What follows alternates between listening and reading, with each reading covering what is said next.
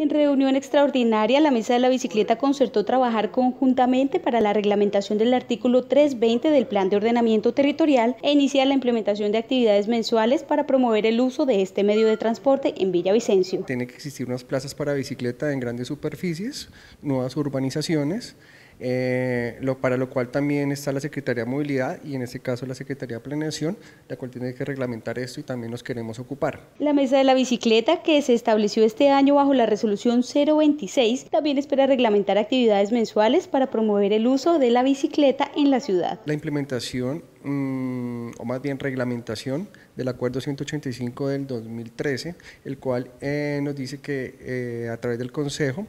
se había estipulado que se realizara el viernes de la, de la bicicleta el primer viernes de cada mes. Eh, ya eh, para cuál está a cargo el IMDER y la Secretaría de Movilidad. Además de ello, representantes de la Alcaldía Municipal viajarán a Ibagué, lugar donde se realizará el Foro Nacional de la Bicicleta 2016 en agosto para solicitar que Villavicencio sea la sede del próximo año.